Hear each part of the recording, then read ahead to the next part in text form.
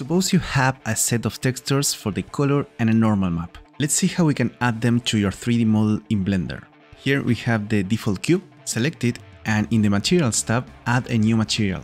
I like to use two extra windows when texturing, so let's click here and divide the window vertically, then click again and make a horizontal window division.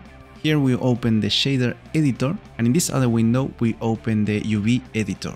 In the corner and in the description, I will leave you a detailed video on how to open and close windows in Blender.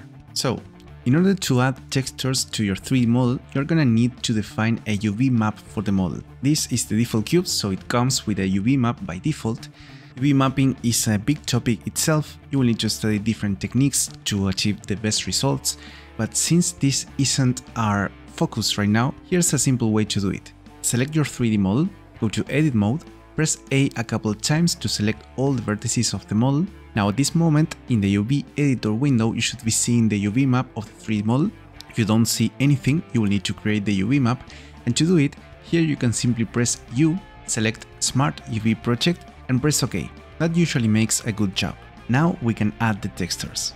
Press Z and change to the Material Preview mode. Then in the shader editor, press Shift A and look for the image node open your color texture and then connect the color node of the image to the base color input of the Principled BSDF shader. Now your model should display a texture.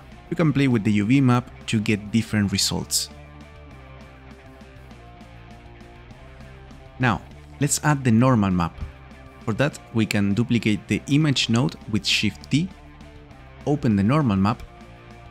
You need to change the color space to non-color then press Shift A and look for the normal map node. Connect this color output to the color input of the normal map node, then connect the normal output to the normal input of the Principled BSDF shader. Now your model has normals, and it will produce different shadows based on the lighting conditions. But to see that, you need to press Z, change to the rendered mode, and play a little bit with the light source.